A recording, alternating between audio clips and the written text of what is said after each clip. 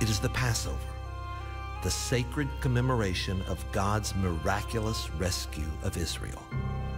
It's the beginning of seven days of treachery, deceit, and murder.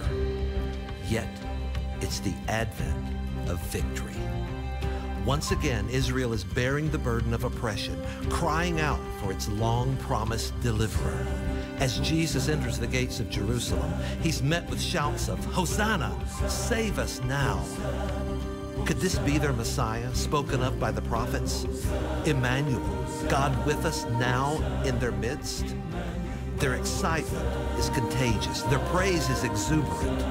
Their hope is alive.